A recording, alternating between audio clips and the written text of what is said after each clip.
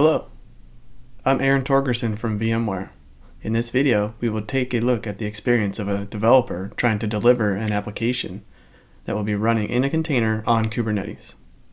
In the end, the goal is for the experience to be seamless for the developer, regardless of how and where the application will run. Tanzu Application Platform is all about making that a reality. Let's take a look at the flow for a developer when they get a task to work on something. It's pretty simple, really. We need a starting point for our coding, a developer environment, otherwise known as an IDE, and a place to test and debug iteratively before checking in code. This is what we call the inner loop. You can think of it as everything a developer will do before merging their code. The outer loop is what happens after the check-in or merge. This video will focus on the inner loop. Every project and ticket has to have a starting point. If it is an existing project, it's pretty simple. Simply use the already created source code repository, clone it, and away you go. However, what if it's a new project? How do I get started in an approved way with the needed libraries? Tanzu Application Platform can bootstrap a new project using Application Accelerator for VMware Tanzu. We can download a template of source code repository to get started.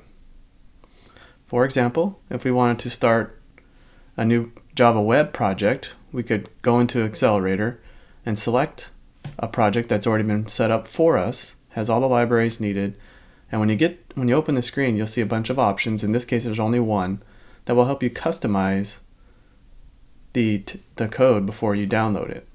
So here I'm just going to change my registry and then let's explore the files to see what's actually in this accelerator. So there's source code in here that'll help us get started for the Java web app. And then also importantly is this workload file. And this is pretty much the only configuration file in this repository. And it will be used to work with Tanzu Application Platform to build and deploy your application. And you can also see my registry has been put here um, and it will be part of the download. So let's go ahead and download this project simply we'll create a, a zip file on my system and I'll be able to start coding. Once we have our starting point, we can begin working. Typically, an IDE is used and there are several out there to choose from. Using Tanzu Application Platform, we can stay in our IDE to code, build a container, deploy it to Kubernetes, and actually see our changes live before we check in or merge our code. We are showing VS Code IDE here, and we'll use the Tanzu plugins to enable live reload and debugging of our application. Here's our workload file with our changes that we made in the options screen in Application Accelerator. But more importantly, let's check out our code and get it running.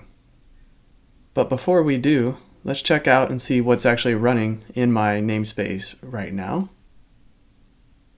Uh, check what's running out there, and it's just the application live view pod so let's go ahead and use the plugin to start our workload. We just bring out the plugins and do Tanzu Live Update Start. As you can th see, things will actually start kicking off, and this is going to create a build pod, which will actually build our image, deploy it to a registry, and deploy it to Kubernetes, and then make it available uh, for live updates.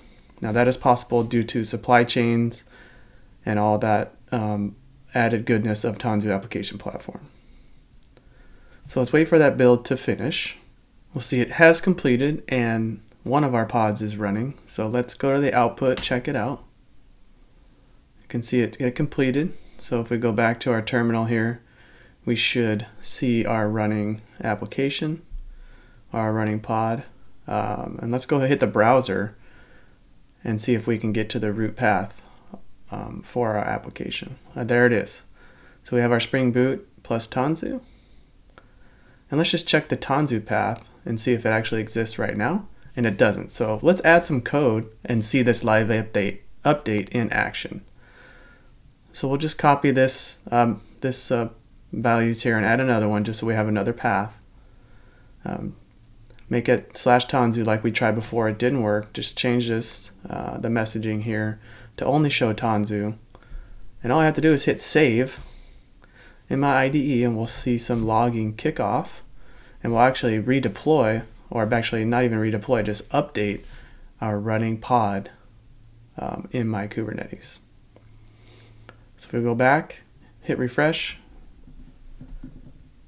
we can see we now have our new path updated live and working in our Kubernetes cluster.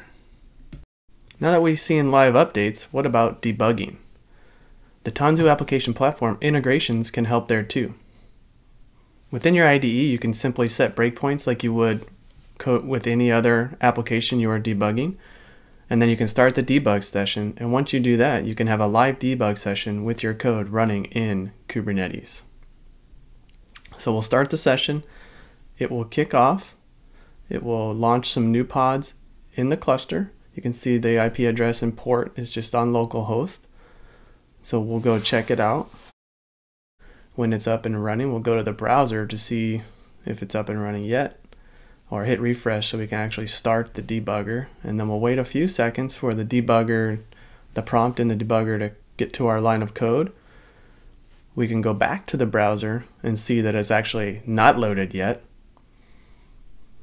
So it's still waiting. And then once we use our debugger like you normally would, it'll go through through the code and this will make it easy for you to debug. Isn't developing applications using containers on Kubernetes supposed to be painful? Well, it doesn't have to be.